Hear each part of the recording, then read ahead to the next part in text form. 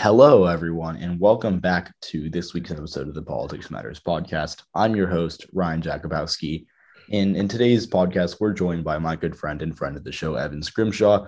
He uh, has had quite a streak with these primaries. He's also my favorite Canadian. So, Evan, how's your day been going, man? Uh, my day's been good. It's been busy with Canada stuff that I'm not going to bore you with.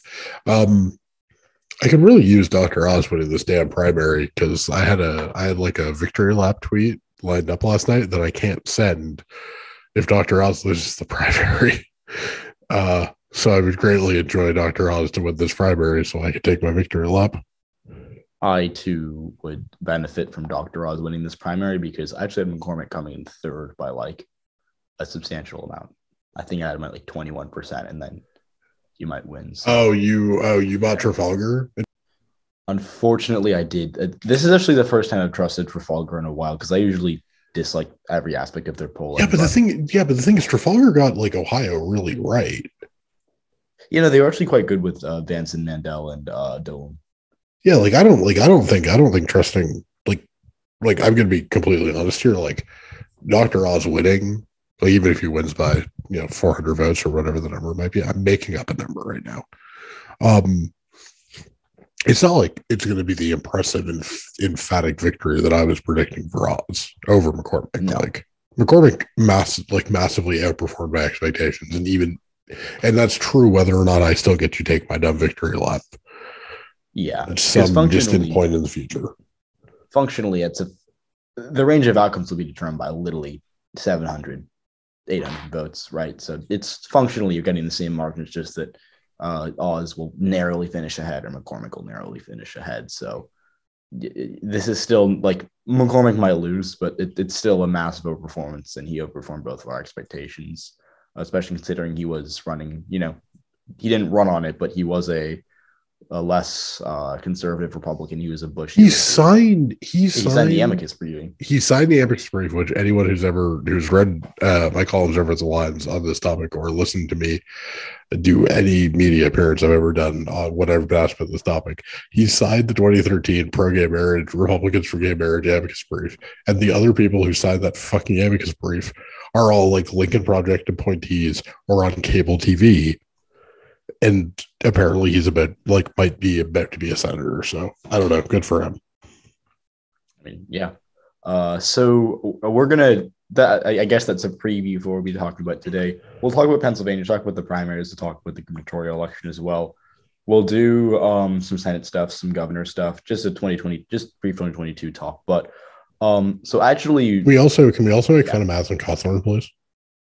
Oh, gladly, gladly. Perfect. Great. I'm not even pretending to be unbiased, dude. This is my podcast. I'm gonna. We can talk Schrader too. Schrader looks like he's going down as of right now, but uh, the guys over the guys over at Split Ticket have called that one, and I think I agree with their assessment, or at the very least, their logic seems sound. So the only thing with that race, though, is as of so we're recording this on a Thursday night. Um, or no, Wednesday it's, it's Wednesday night. Yeah. Whoops. Um, but right now, if you go on New York Times, you can see uh, we're at at the time of this recording, we're at 49, no, 54% in, and it hasn't really changed. Um, Schrader's down by 21 points, but the thing is, the Deschutes County, which is home of Bend, uh, is or was uh, McLeod Skinner's best county, and it's basically all in. And Schrader's still Clackamas is literally eight percent in, and that's Schrader's best county right now. Uh, and then Marion's 42% in Schrader's winning there by 12. Uh, and so like I would like it, uh, I'd much rather be Jamie McLeod Skinner right now, but like I, I don't know if I would call it yet because I, I, don't know enough to yeah, but make a projection yet. Yeah, but you're a coward. So who cares what you're comfortable calling? So, the guys so you're going to call it. I'm, i mean, I'm not making I'm not making the call on my basis. The guys over at Split Ticket know what the, know what they're talking about, and if they're willing to make that assessment, they I trust that they have given it enough thought and that they are aware of the intricacies of that district enough that they're they are not the kinds of people to make such a call rationally for the sake of like Twitter clout. They clearly are quite confident. I, yeah, I like I don't I'm not a decision desk dude. I just like I yeah because you're yeah because, yeah because you're yeah because you're a little coward. I'm I'm getting slandered already. You you decided to, you decided to ask me to come on your podcast. This is your own fault. I, I should have known. It actually it, it, it comes with um asking it literally it, to come on your podcast. It literally I, does. I don't understand why you're expecting anything different from me. Okay. Anyways, um, so we're gonna throw Evan under the bus here uh, for the start, and we're gonna so this is a game, if you call it that, that we came up with 15 minutes ago. And so I was uh, asking Evan about Canadian geography because he's Canadian, uh, and because since I'm American, I'm like inept with Canadian geography. Uh, and so, just for political reasons, and because tonight's pretty eventful for Canadian politics, um, I have a list of seven cities, and, and we're going to ask Evan to compare them to American cities, politically speaking. So, the first on this is Calgary. Houston 25 years ago when because the thing about Calgary is all the like rich wealthy whites vote for conservative parties because all of like Calgary industry and I mean like the law firms, the banks, the accounting firms, everything. They're all like flooded with oil money, right? All the all the law firms have the oil as have the oil companies as their clients all the banks take the oil money. The problem with Anchorage is that Anchorage doesn't count as a city because it's not truly America. It's actually Canada. Hold on. You're claiming Alaska now? Yes. This is imperialism. This is You literally bought done. you literally bought Alaska from the Russians. Shut up. Good. I like taking Russian territory. Okay, like I am very pro Seward's Folly. Calgary's Houston. Next you have all the oil industry and and all the rich white stuff for conservatives, anyways. Okay, thank you. Uh, next city, Winnipeg. Uh, uh, uh, ooh, that's a that's a tough one. Stumped him. Uh, well, no, I'm also drunk. You gotta remember. So, Indi- no, Indianapolis the it's city itself fairly, is that liberal. Oh yeah, no, like the liberals. There's oh god, there's only like one conservative inside the city proper, depending on well, people from Winnipeg might get mad at me if I'm. I don't consider Charleswood the city, so they have one conservative MP. Two, if you count Charleswood as the city, you shouldn't. Um, no, the city is majority liberal in a bastion of conservative insanity around it. Okay. Uh, so I guess if that's the analogy, the analogy you're going for, Indianapolis works. Uh, okay, let's let's do um, let's do Kitchener next. Uh,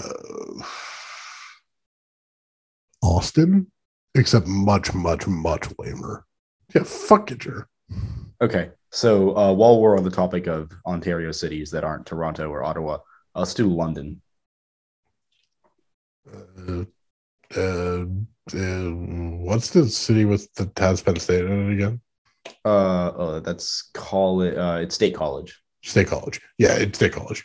It's okay. Literally, it's it's like a it's like a formal industrial area, but like literally the only thing is keeping London fucking like alive as a city is the university, and it's the biggest party school in the world. So yeah, State College.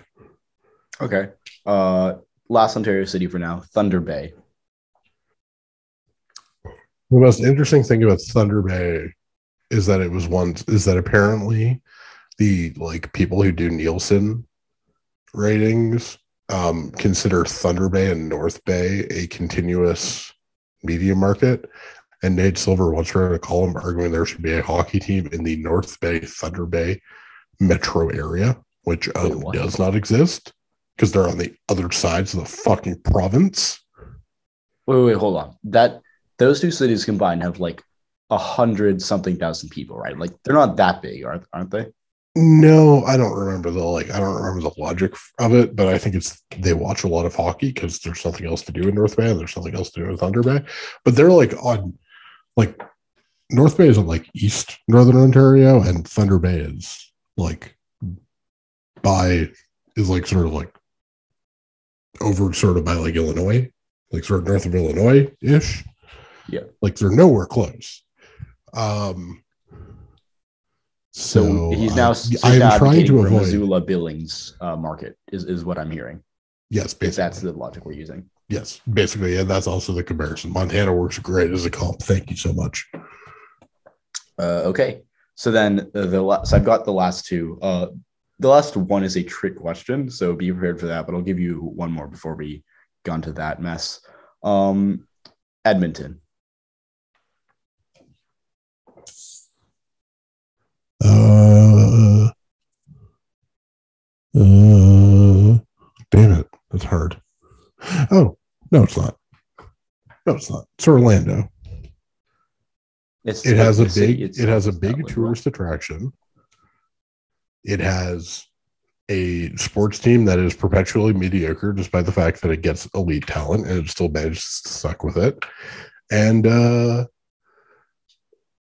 it's it's like a it's like a liberal bastion surrounded by a bunch of in a state with multiple big cities. Okay, so the last one I know nothing about, so you're gonna have to take the lead on this. Uh, White Horse. Uh, that is the capital of. I, I think it's that is the uh, capital no, of the Yukon. It's Yukon. Yeah, it's, it's Yukon. yeah because Yellowknife. Yeah, because Yellowknife and Yukon are not the same. The two Y's are different territories. My uh, oh God. I mean, it basically doesn't even really exist, except it does. So I don't know. Fargo, North Dakota. Okay, so the correct answer is actually Utqiagvik, which is the northernmost city uh, in the United States of America. So you were six for seven there. No, no, it's Fargo. No, it's Fargo. Okay, so do you give yourself a seven for seven on this? Yes, and then I made a wish at 11 11. So you're mad you didn't go seven for seven. Is I no, I a thousand percent one. No, I a thousand percent one seven for seven, and now I and now I have the Eric Arkell song eleven eleven stuck in my head. So get to get to your next question. Okay, so we're gonna uh, do the, the the this is the now serious part of the podcast in which we actually have to use our brains a little bit. Um, so Ooh, that's we'll not good. Briefly, briefly talk about uh Pennsylvania governor primaries because I just want to like run it over briefly. Um, so obviously, Josh Shapiro ran unopposed to the Democrats. Uh, on the GOP side, as expected, Doug Mastriano won. Uh, Mastriano ended up winning with uh, most counties. Barletta won a string of counties in the northeast part of the state, which is his former congressional district. So he won Lackawanna, Luzerne, which is Scranton area. And Bill McSwain, for whatever reason, actually won Chester County, uh, which is suburban Philadelphia. And then Dave White, who came in fourth place, won Delaware County by 17,000 votes or by 30%, which is quite interesting considering. Is he from yeah. Delaware County? I'm genuinely yes, asking. Okay, no, that explains that. That's one. why he won it. But he won it, but like he, he got 51% of the vote there. He actually did really well there, even though he was from there. Like, I'm not going to lie, I have not looked at the county map yet since then. Is Barletta from the Northeast? Yeah, that was his former district. Okay. That, like, it's like you can literally, they're all contiguous. It's, it's just like red Pennsylvania, and then you just take a paintbrush and just have a streak of yellow for Barletta.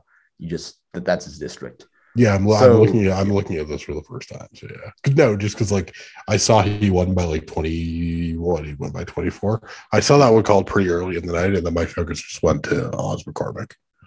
Yeah, I don't blame you. The race is pretty uneventful. Um, but okay, so uh, obviously Doug Mastriano is the worst candidate for the GOP here. McSwain and White were kind of more McCormick y. They weren't, you know, super moderate by any means, but they were more sub, you know, they were from suburban Philly. They weren't um they weren't running super Trumpy campaigns, but they were always kind of irrelevant. McSwain had a late kind of surge, but you know, he didn't he wasn't really in a position to take on Barletta or Mastriano. Barletta was the front runner, him being a former representative, but apparent so apparently Trump, this is kind of funny apparently Trump didn't like Barletta because he lost the 2018 Senate race to Bob Casey by like 13 points or whatever. And like, not a great showing, but it's Bob Casey in a blue wave. What are you going to do? And so Trump thought Barletta was a loser, and that's why he endorsed Mastriano instead. And when told this, Barletta said, "At least I'm not a sore, at least I'm not a sore loser." So, um, I mean, best comeback you can give when you lost a primary by 24 percent last night. But uh, yeah, Mastriano is the GOP nominee, uh, and he's not super uh Not a fan. I'll, I'll say that. Um, he's he was at he was at the Capitol on January sixth. Doug Mastriano will not allow the 2024 presidential election in Pennsylvania to be a fair election in any meaningful international sense. I mean, yeah, he'll pick the Secretary of State, and he was at January sixth. So. Like like so, the like the 2024, and the thing is, even if Joe Biden or Kamala Harris or insert Democratic nominee here wins the popular vote in 2024, he will send a slate of electors to the to the electoral college and and to Congress of a Republican. like Master like Mastriano is the real like litmus test of like no no he is explicitly an authoritarian. And I don't disagree with that. Like this is this is the race that will determine whether or not the GOP has a moral compass such that there is a Republican candidate that suburbanites will not, that there is a bridge too far. Uh, so is the bridge I too mean, far? Does Shapiro win? Yeah, I think I I I have the race leading Shapiro. Um, I, there's there's not like a great there's not like a really a great comp for for this right where like the environment's bad at least not that I could come up with in thinking about this briefly in 2018. There's no like Republican in a sort of like swing state who who really hung on like you could maybe make the case that, yeah like like like the republicans DeWine. who held on were in yeah but DeWine won in a in a in an r8 state but Cordray was, in all fairness, Cordray was pulling ahead of him for all, all of that race, and he was yeah, the, the race yeah, was that, viewed yeah, as a toss up. Yeah, but that's because that's because idiot pollsters are bad at this, not because like I'm trying to think. It's probably Hickenlooper, right? It's probably Hickenlooper in 2010. That's probably the the the right analogy, right? The Colorado GOP probably should have won that in in the wave, and they lost it because they picked a, a, a yeah was he? Did they? Did they run him for governor? Or did they run him for? No, he's for senate. I'm, I'm thinking. No, you're right. Whatever. But, but they also lost candidate wasn't any better. Yeah, but this is the point, right? Like, um, Shapiro is like probably the best Democratic non-incumbent to run in a long time. Uh, and the thing, and the thing is, is that this has all the makings of the governor's edition of Ohio Senate 2018, which is the GOP. They don't even they don't even bother with this one, right? There's a there's a good chance that the RGA doesn't spend a cent. That Republican super PACs don't spend any money. They just they they just decide off the top that they're just done with this race. They aren't going to burn money, and unless Mastriano can get close in some Republican internals in the next two months, I don't think the RGA spends any money. And if you see, and in governor races, especially where we know federal partisanship matters less, and in Pennsylvania, where uh, I mean, Tom Wolf won in 2014 in a red wave against oh, a Republican. yeah, like he he smoked a Republican incumbent. Uh, like you can make the argument that the Pennsylvania Democratic Party in state elections is just gonna is just going to be able to outperform federal partisanship for a bit because they'll still be able to win over old union working class Democrats that are now Trump voters or Republicans for federal office. So yeah, I think Shapiro's fine. What do you think? So I don't think. So here's the thing. Uh, there are two ways this could go. I think, broadly speaking. So first, you like I totally agree that the Pennsylvania, like Pennsylvania, is always pretty competitive. Like even in races where the GOP is fundamentally just in much better shape than Democrats, the Democrats have a floor of like 48% or 48.5%, which is quite high for a Rust Belt state because Democrats will sometimes just get smoked in states like Wisconsin or even Michigan. They've lost some races uh, there, you know, 2014, etc. Um, but Pennsylvania, I think, with like with all the Democrats have, with Mastriano being like again, like you said, they might like the GOP because here's the thing. If the GOP, like if their internals aren't like if by the 4th of July, Mastriano is not close to Shapiro in these internals, like if he's down six, down seven in these GOP internals, they might just be like, nope, we're done with this race. We're going to go uh, try to, you know, maybe. Did you see? I mean, did you Nevada see the RGA's? Did you see the RGA's um, statement today? No, what they say. I don't remember the exact verbiage, but this is not a race they're excited about. And this is not a candidate they're excited about having to having to play for, right? Like, yeah. and the thing about the GOP is they do have a pretty wide map of like good and not great pickup opportunities. So, can, actually, can I make a can I make a broader point about the governor's map that I know sure. I haven't seen anyone make? The GOP in twenty part of the reason the GOP had such a good 2010 in the governor's um, map was because you had all of those two term Democratic incumbents who won in 2002 term limited and a wave environment. The same thing happened for Democrats in 2018, where all those 2010 wave governors, with the exception of of Florida Democrats, just fuck them, obviously. Um, they all got to run in open races. This year, the GOP mostly have to fight incumbents, right? So they don't have any like other than Kansas they don't really have any like guaranteed flips, right? They've got a bunch of like meh chances. Like, I don't know, like I don't know how much to buy the polling, but like the polling suggests that Evers has a favorable nearer. I think Evers gets no. I think he gets smoked. Whitmer Whitmer keeps being ahead in the polls. I don't think many Republicans right now consider themselves favorites to beat Shapiro. Um, Arizona, like Arizona and Georgia Republicans don't feel great about their positions and holding their own states. Like the the governor's map isn't great for Republicans. It's a, it's full of a bunch of good chances, not great chances. And so, are they really going to bother playing here when they're going to have to defend Brian Kemp? When they're going to have to, I guess they're going to have to go in for Kari Lake in Arizona. When they're going to be trying to, Mastriano were like the two people there because her and Mastriano are the byproducts of bad Trump endorsements in terms of electability for the GOP. So uh, they got to yeah, pick but, one. Yeah, but yeah, but I think they're gonna. I mean, here's the thing: if you think if you think the GOP are gonna leave Kari Lake out to dry, she's like seventy cents on PredictIt right now. So go bet on the Democrats if you think that's if you think they're gonna hang her to dry. I don't think they're gonna hang her out to dry. I do think they're gonna hug. They're gonna they're going to hang Mastriano out to dry because the thing about Lake is she might be crazy, but there's not fucking video and photographic proof she was at one six. Yeah.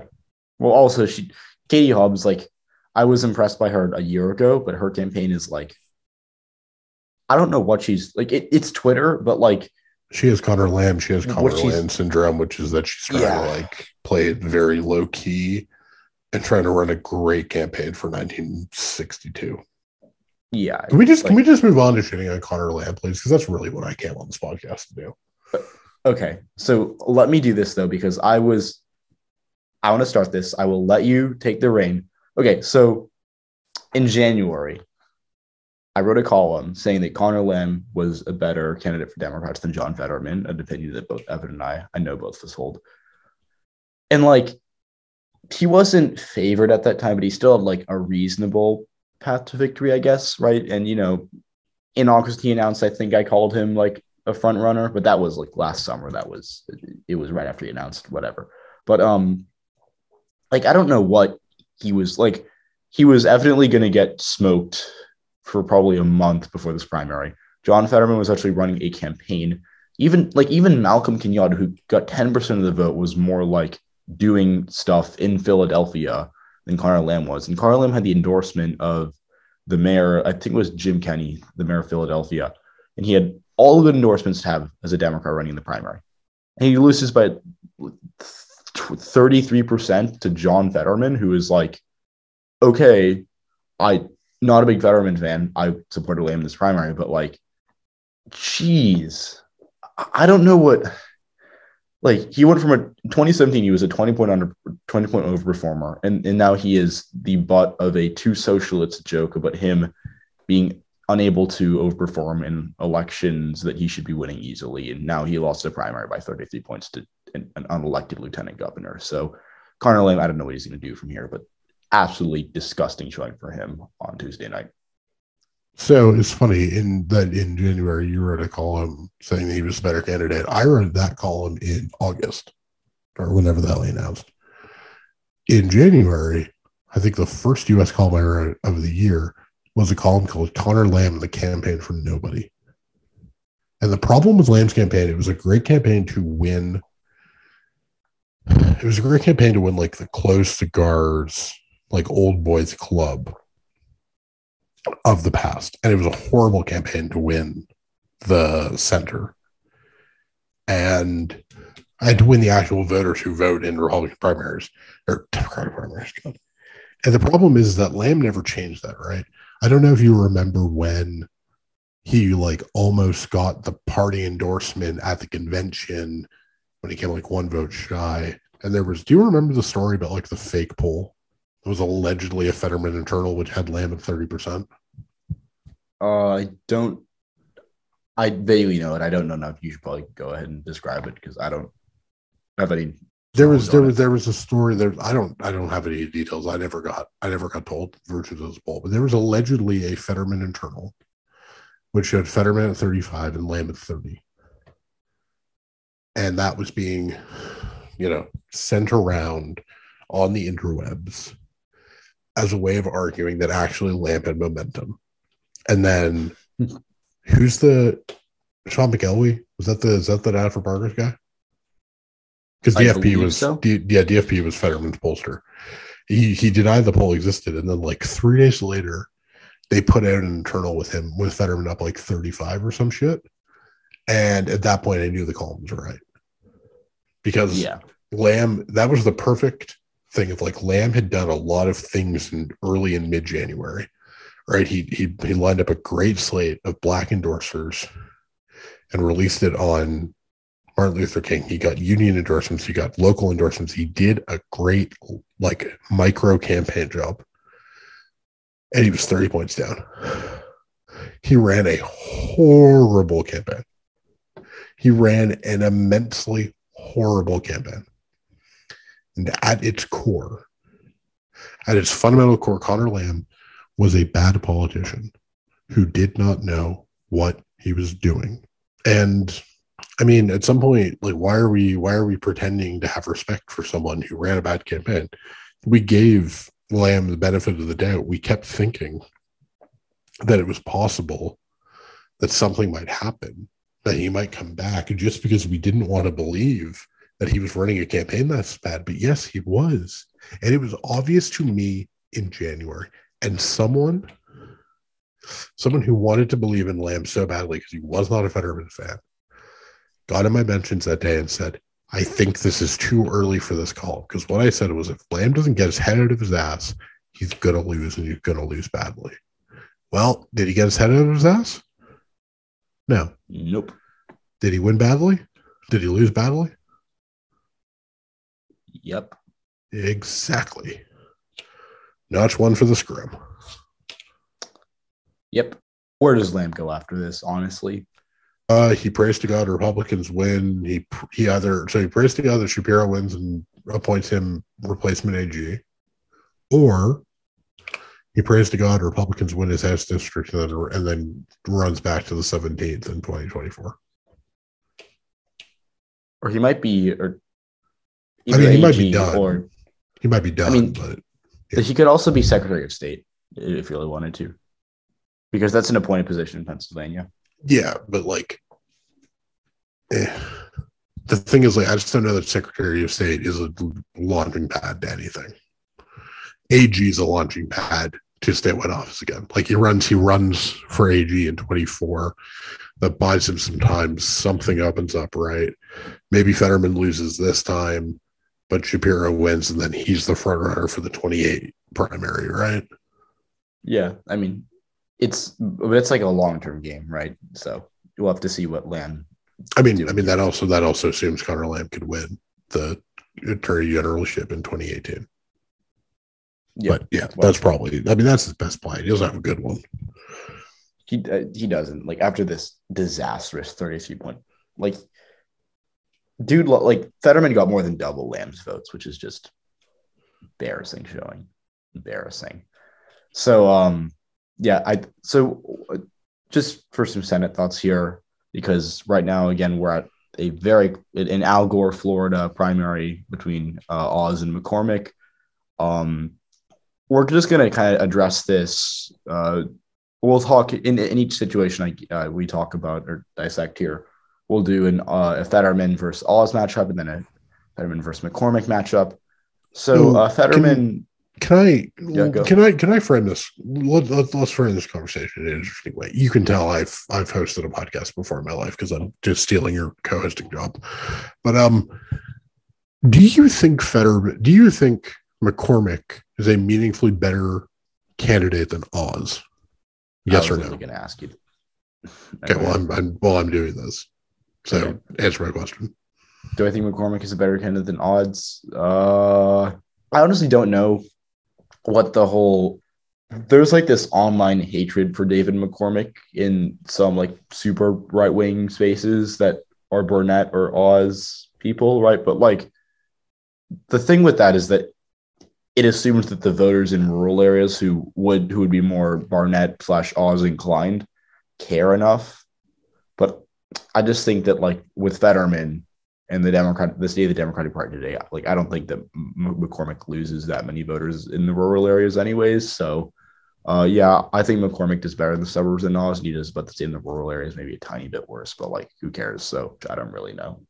So the thing the thing about that is, is that I would have understood that argument if McCormick had more strictly stayed to his like private equity business guy, pro gay marriage moderate positions in winning the primary, right?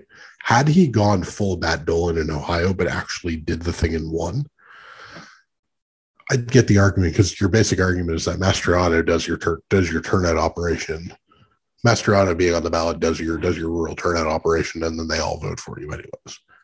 The problem with that is McCormick is not like McCormick lost the Philly collar, most of the Philly collar, um, and certainly did. won Chester. I said most of.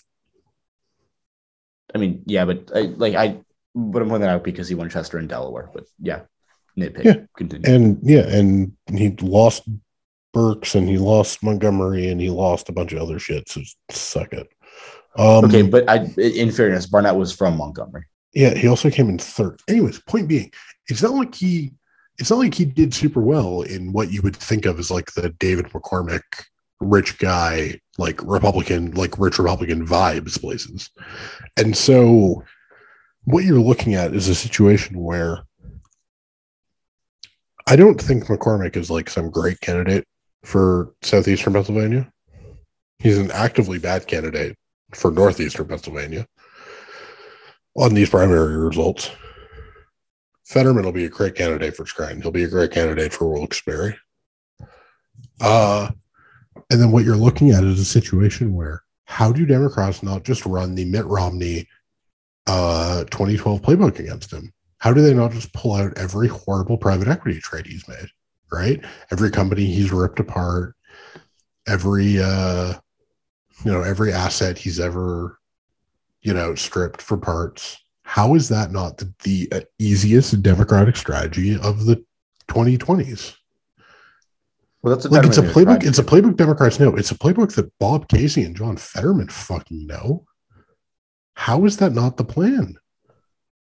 I mean, it. In fairness, we don't know what the plan is yet. Although, because the thing is, Fetterman has one of two options. He can either be like, for Democrats, he's hopefully Sherrod Brown, but he could also be like the like the like the not like he won't lose by as much as Paula Jean Swearengin did, but like there's like this hype among progressives. But the thing is, but the thing is, he's not a progressive. States, but like, like, but the thing is, he doesn't come off as a progressive. But he is a progressive, though, and like, no, I'm, I'm saying that it's his. But the thing is, but the thing himself, is, he doesn't give a shit. But the thing is, he doesn't give a shit about like the woke stuff, though, right? Because the thing is, the the problem with like Paula Jean Swearengin is that she like talks like she talks like uh she doesn't talk authentically to the people she's trying to represent, right? The the thing about those like West Virginia, Western Pennsylvania, like red wall places in the UK, right? Like I wrote the first piece I ever wrote because I used to write for Decision Desk HQ sometimes. Um, back in the day, it was about the red wall, And it was about these places. They're culturally conservative and economically liberal. They're stop talking about gay people. Make my add add an ER to my rural hospital. That's those voters in a nutshell. It's not that they're even necessarily like actively homophobic. They would just like you to stop talking about like gay people and trans people and like Latinx and dumb shit. Right. I'm not saying those things are dumb, but in their view, these sorts of like dumb culture war language questions are getting in the way of real issues. And Fetterman speaks like that, right? Fetterman has disagreed with the Biden admin on Title 42 and immigration policy, right? It's a right. signal. And so he's not going to get blasted like most progressives usually do. Because the simple reason is he's a more astute politician than most people give him credit for. And the thing about Fetterman that I sort of keep coming back to is all the like, oh, Fetterman's just vibe stuff, like that's all bullshit. That's all like reductive nonsense from people who want to just paper over like who just want basically the center of the Democratic Party to, to not give a shit about like policy views and the fact that like plenty of the things that progressives believe are dumb. Right. The problem with this is all like Fetterman. The thing about like unique candidacies is that they're unique right? The thing about like moments in time and candidates who can match the moment in time is that you can never you can never build it, right? I've written about this before, but Jon Ossoff went from running the worst campaign of 2017 to the best campaign of 2020. You know why?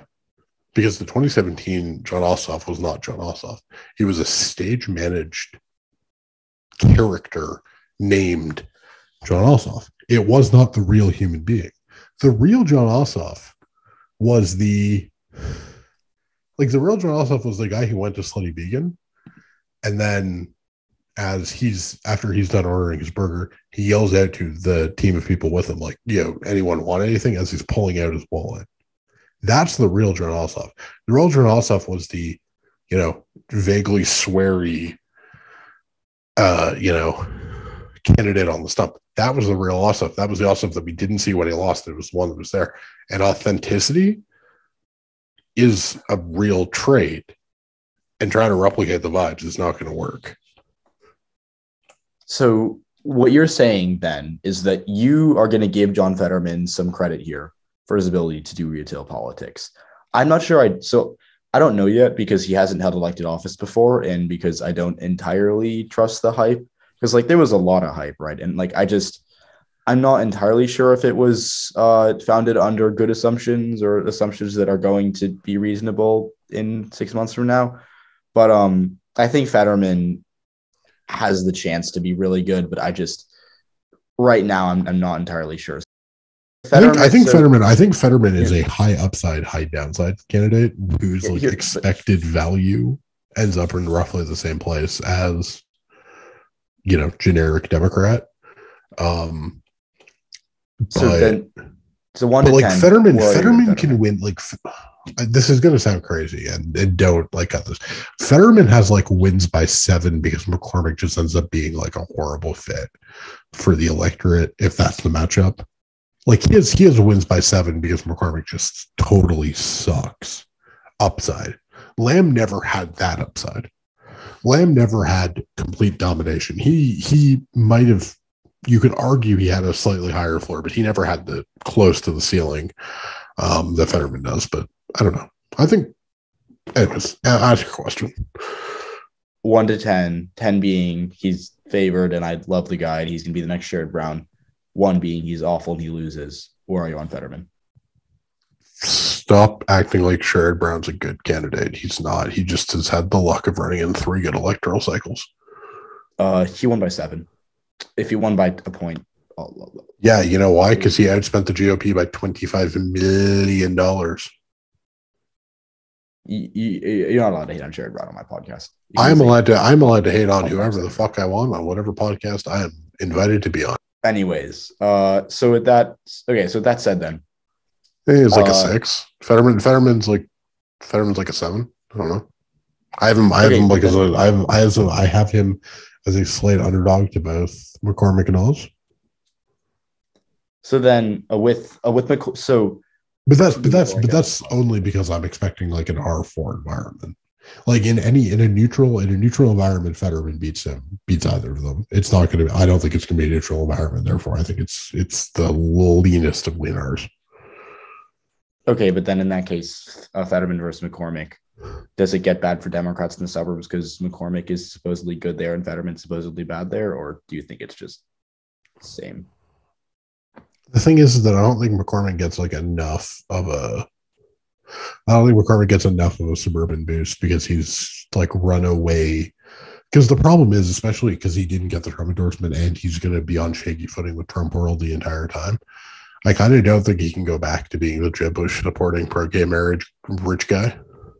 And like, I don't think his private equity, like, I just don't think he can, I just don't think he can talk about his like private equity pro gay marriage stuff. Like, I don't think he can go to Montgomery in a general and be like, don't worry, I'm one of you. Can he? When MAGA, when MAGA World already, yeah, but MAGA World already looks at him like he's a, like he's a, he's a fraud.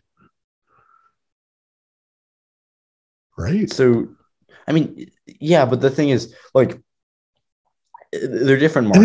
And if, like, and the like, thing is, he will definitely no, but he'll definitely talk to voters in Chester and Bucks then uh, differently than he will when he goes to Scranton or to Wilkes-Barre to, or to wherever in northern Pennsylvania, right? Like, yeah, but can he? He'll yeah, be running different tout, But he can he tout because Romney's problem is that he could not tout in capital in Philly ads, right? So is he going to be able to talk about his his business acumen there? Is he going to be able to talk about his moderation there, or is he going to have to be so single-minded about trying to get Republican turnout in every single one of his ads that because what he says in in ads on Philadelphia TV is going to matter a lot more than what he says at events with a hundred and you know 150 or a thousand people in the Philadelphia suburbs. So like I just don't know if he can go on TV with the message that he needs to to get a, a big suburban bump and get Fetterman. And the thing is, is that Fetterman's actual policy prescriptions are not particularly far from the average suburbanite. They, he is different than the average suburbanite in tone, but he is not. But like substantively, I cannot believe I'm about to defend the gun thing because obviously the gun thing was was deplorable, right? But like if Fetterman goes into the suburbs and says he's tough on crime, is that a bad thing? I don't think it is. It'd be a, no, because it depends on where though. Because like, see, here's my theory about the Trump tough on crime 2020 thing. I think he did it wrong. He, like the idea of scaring suburbanites into thinking that BLM is like this violent terrorist organization is viable in some places, but like, but like when he pitted himself against because BLM was actually wildly popular for a bit in 2020 when it first uh, started, right? Because the, the thing is that I think he pitted himself against BLM and made it seem like he was just anti everything, right? When if he really just said riots bad, we're going to be tough on crime, I think it would have been slightly different. I think he would have been viewed as like more moderate and less like insane by a lot of. I think if I think if Fetterman, I think if Fetterman does like a like does like a Tony Blair esque tough on crime, tough on the causes of crime, sort of like we're gonna we're gonna be tough on criminals, but also support criminal justice reform. I think that's I think that's catnip for white liberals in the suburbs, and that doesn't seem far off of his like general disposition. So, but but does he run that campaign though against McCormick? I mean, like I don't like. I think so. I think so I because agree, I think but... so because the tough on because the tough on crime stuff worked great in Western PA, right? Yeah, and the, and the thing is and the thing is, is that i think the i think the black community is going to get behind him. I know the very online k-hive black community are full of fucking crazy people who don't understand that vote blue no matter who is not asterisked by the sentence well unless he's a meanie. No vote blue no matter who means vote blue no matter who. And if you are if you're calling the democratic nominee trash on twitter because your candidate, who was always going to lose, lost, you're not a Democrat. Fuck you. I think K Hive is viewed as deplorable by everyone not in K Hive. It's like bipartisanly, I think we all hate K Hive, but yeah. the the people who aren't going to vote for Fetterman but supported Lamb who think he's whatever. It it it it's nonsensical to me, and that's coming from someone who supported Conor Lamb. But uh, yeah, but the thing is, but the thing is, is that it's it's specifically hypocritical because these people hate the left for the supposed sin of Bernie not endorsing Hillary fast enough. That you have yeah. to remember that that is like K Hive's original organizing sin. Yeah, like that is why they hate the left. So they are so they are all like actual hypocrites and fuck them all. Yeah. Anyways, uh, so just raw percentage here because I want to get to some conclusions on this show. Uh, what are the chances that Fetterman beats McCormick? And what's your current prediction margin as of right now? Will change, but as of right now, predictions. So I think it's 35. I think I think Fetterman has a 45% chance if it's McCormick. I think he has a 35% chance if it's Oz. So you think, so you think which we haven't really we haven't really talked about the Oz battle much. We've mostly focused on McCormick, which no, I know what we're get to next, but yeah, okay, fine. So 35, 30, 45 percent. It's like the leaniest of lean Rs. I cut out. Repeat that. 35 percent or 45 percent chance Fetterman beats McCormick. It's the leaniest of lean Rs. I don't do toss ups because I'm not a coward. So you think so? Oz is a better candidate than McCormick in your eyes? Yes. Okay. So because the thing the thing about Oz is that he's a hard candidate to run against, right? Because the thing is, Oz presents to you with a lot of um like a lot of like notionally interesting fights, right? But Fetterman is well equipped equipped to fight exactly none of them, and even more importantly than that, um the the sorts of like so I had to write about this um last year when I wrote a column about the line about Oz for the lines. Um and like Federer Oz is like a whole like Wikipedia page of the controversies of the Dr. Oz show, right? It's quack medicines, it's bad guests, right? But it's like had a debate about um conversion therapy, right? It's shit like that is that what John Fetterman wants to spend the next six months fighting about? No, God no. Is that what Fetterman? Is that what Fetterman, champion of Braddock, Braddock, Pennsylvania? Is that really the, the fight he wants? Was Doctor Oz stupid to have a pro um, conversion therapy person on his show? Like the the thing about McCormick is that he accentuates the argument um, he accentuates the argument that um, that Fetterman wants to have, right? What was what you saw Joe Biden's statement last night, right? Uh, he endorsed John Fetterman. Yeah. Yes, but did you see the language at the top of that statement? It was about working class. Yeah. Working class voters in Pennsylvania have been dealt out for too long, and John wants to deal them back in. Yeah. How that's the message. That message works great against David McCormick.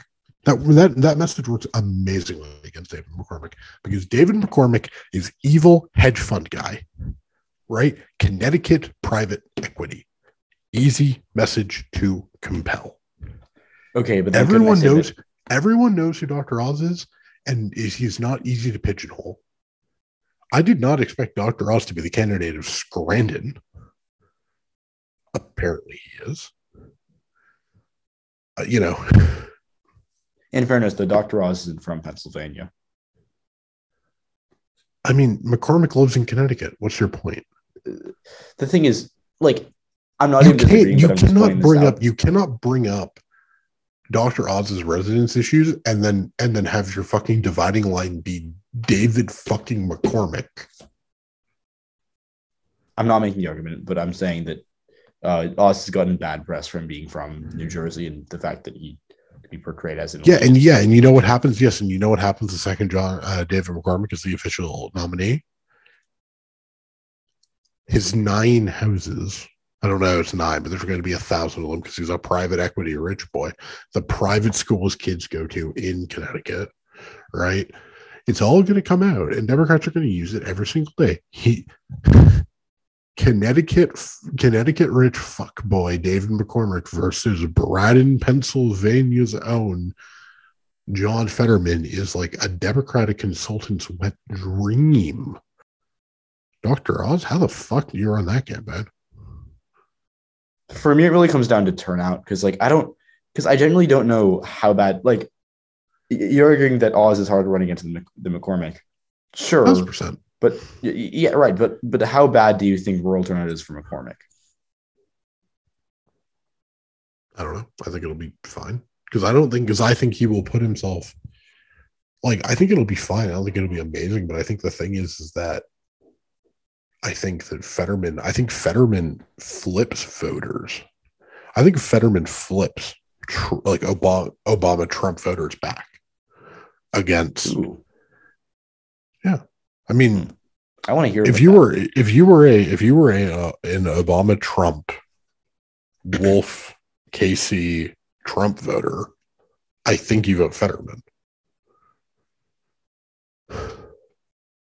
over McCormick, and I think you're more like, and I think more of those vote for Oz than they do McCormick. Yeah, because again, like the thing you have to think about the issues issues profile, right? Especially when you're trying to think about how Democrats beat like the national tide, right? Which we both agree is going to be bad for them, right? So they're swimming uphill, right? The issues mixed with Oz isn't great. It's it's dumb ephemera, right? It's is Dr. Oz really from Pennsylvania? Yeah, not the best issue because it's it's gonna just come off as oh, so we're just calling the brown guy not from Pennsylvania. Um, two, I actually think more of I think McCormick primary voters are going to more likely vote for Oz than, um, and Barnett voters are going to vote for Oz more than Barnett and Oz voters are going to vote for McCormick in a in a general. And I think the bigger biggest thing for me is like again, Oz is an issues mix of trans rights and gay rights and abortion. And like none of that stuff is good John Fetterman territory, right? Fetterman's whole thing is that it. he'll tell exactly. But the problem is, though, is that that's just the issue mix you get when you get Dr. Oz, right? Because then you don't get to, because either you tap into that stuff, in which case you're off your message. You're off the message that wins you those Obama, Trump, Casey, Trump voters. Or you end up having, uh, in which case you end up, or you end up litigating the Wikipedia page of all the dumb shit Dr. Oz has done. Then you get into a fight about Oprah. Then you get a fight about this. You get a fight about that, right? And all the celebrity culture nonsense. And that's just not a fight that John Fetterman is well equipped to have. And it's not a it's not a fight that they're well equipped to win. Abortion becomes a much like I, am not crazy about John John uh, John Fetterman having a fight about abortion, anyways. But I'm sorry, I think if he's running against a doctor, you know, no. I think I think Oz can play. I think Oz, I think Oz being a doctor increases the salience of abortion, and I don't think that's great for Democrats because then Fetterman is having to try and go to Western Pennsylvania and is trying to talk about how he'd vote to codify Roe. Yeah, that's not and, and that's also not ideal considering you're trying to get back the Obama Trump people who are exactly. probably socially conservative anyways. Yeah, those like the like those voters are like those voters are classic pro-life Democrats, right? Yeah. And so I just don't love I just don't love the issues mix in an Oz candidate in, in against Oz. I like the issue mix a lot more against McCormick. Um, in the same way that Andrew Gillum like probably fucked up his race against DeSantis by making it all about how you know a hit dog collars and how DeSantis was you know like racisty dog whistly towards him, right? Yeah, I like mean, like Gillum was full of missteps. Sure, but I do think I but I do think making that campaign about that, right? Which went super viral on Twitter. I don't know how. I don't know if you were on Twitter in 2018. I was, but um, it was like I remember the that that debate night where you know uh, Gillum accuses him of racism. DeSantis, you know, says some dumb shit, and then he goes, you know, ah, hit dog haulers. As my grandmother used to say, I hit dog collars, right? Gwen Graham would have run a better campaign solely oh, yeah, on the basis would. that yeah. solely on the basis that she would have kept the issues mix on better democratic terrain. Um, even if I don't think Gwen Graham's some impressive politician, because I'm sorry, you're such an unimpressive politician that Andrew Gillum under FBI investigation fucking beat you. Wow, that's real impressive. Not a fan of Gwen Graham, if you haven't noticed.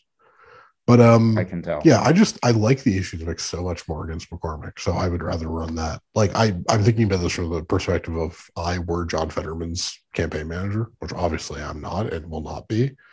I'd much rather get to run the the deal deal them in, you know, uh, Delta deal them in campaign, and that's much easier to do against McCormick because he just gives because his record is so much more conducive to the argument you're trying to make than than Oz's record.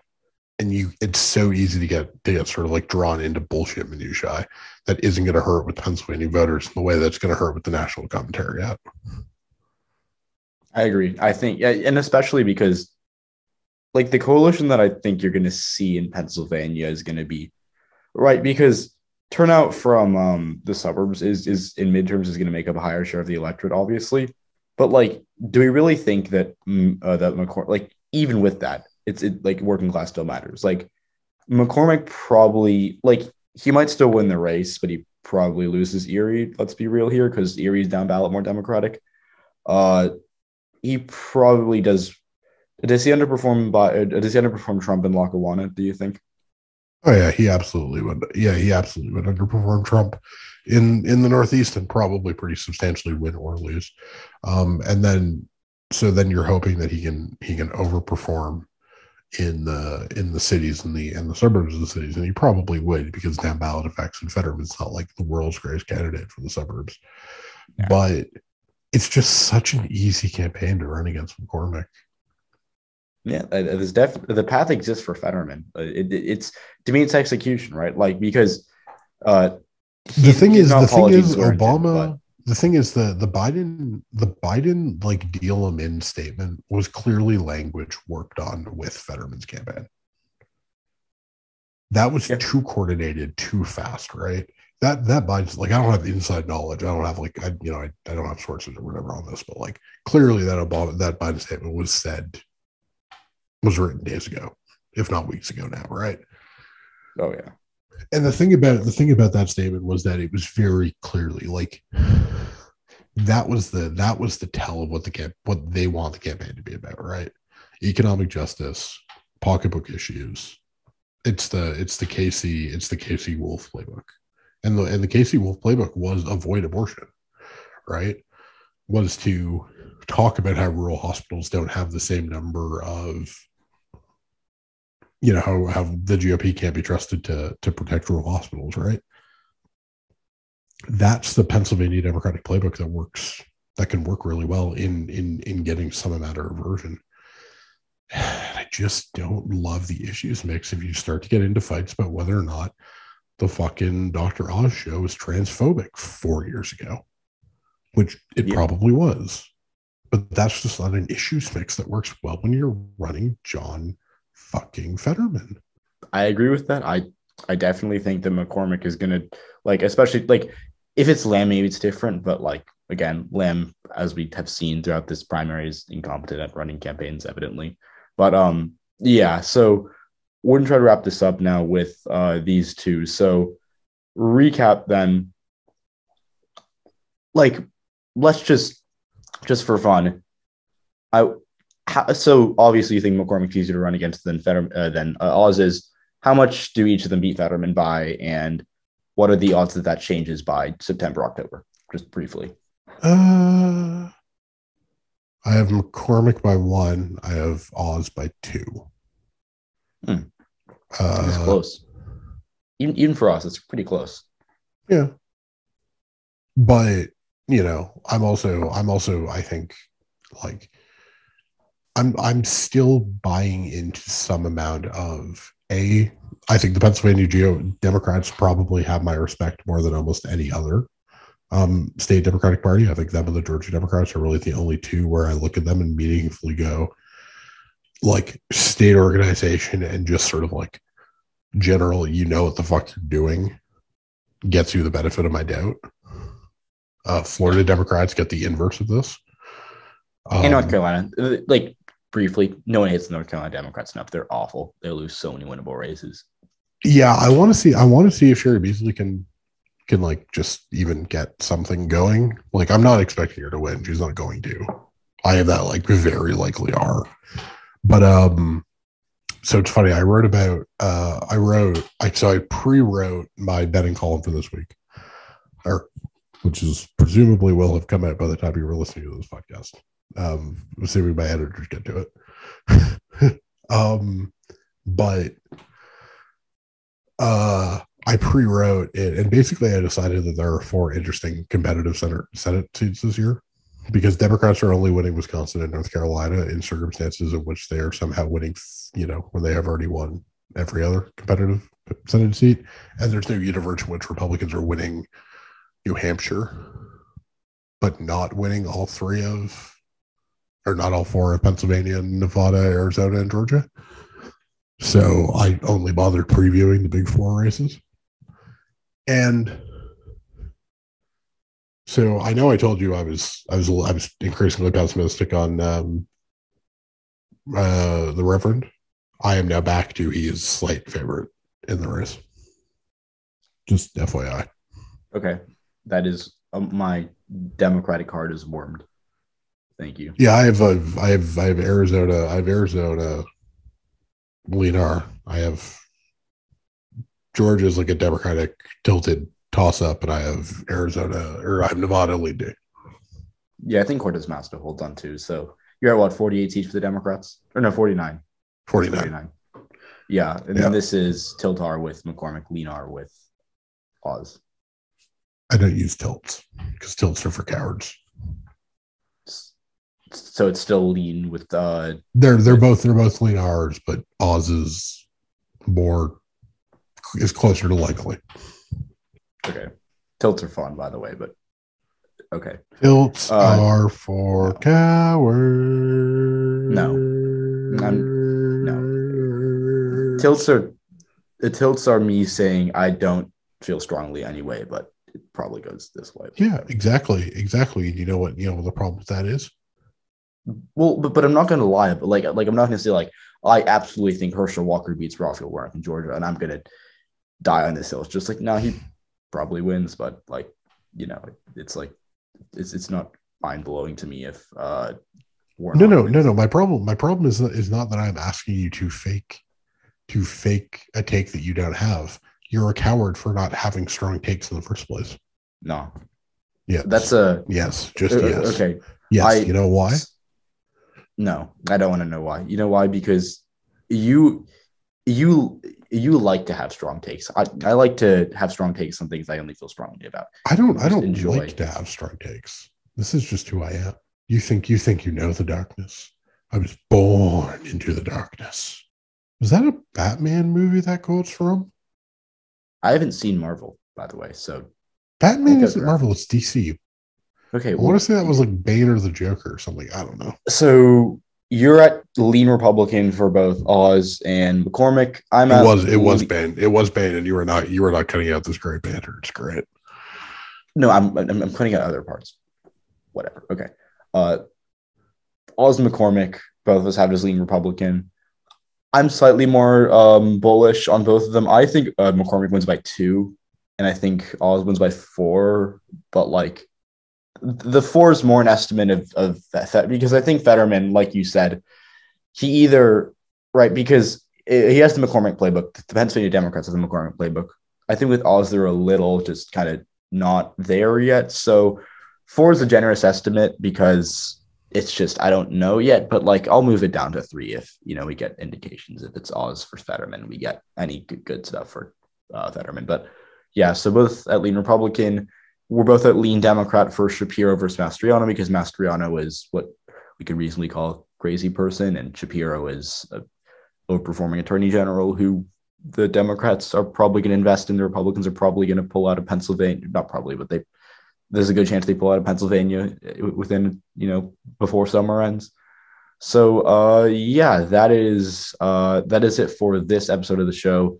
Evan, I greatly appreciate you coming on. I'll I'll let you uh wrap it up for today. Thanks so much for having me on the podcast. Uh, follow me on Twitter at eScrimshaw. Follow uh, my my podcast on Twitter at Scrimshaw underscore show. Uh, follow Ryan on Twitter at whatever the fuck his ad is. It's just his name. It's it's not that hard. It's at Ryan Jakubowski. That's disrespectful. It's just my name. Yeah, it's just yeah, my name. Yeah, but it's more fun to shit on you uh, for everything in life. Um, buy my book, Salvation of the Storm. It's great. Ryan can tell you it's great. He he he he left it. Actually, fun fact: I had him muted on Twitter until he tweeted that he was going to buy my book, and someone sent me that tweet and then I and then I followed and unmuted. So Salvation of the Storm, why you're listening to this podcast right now. So pro tip, if you want Evan to unmute you on Twitter to unblock you or to get the scrimshaw follow back, you can buy his book, read it. Uh, and very good book. I greatly enjoyed it. You should buy it. Uh, but yeah. Thanks for coming on. It was it was a pleasure to have you on. You're welcome to come back anytime you would like. Thanks for having me. Adios.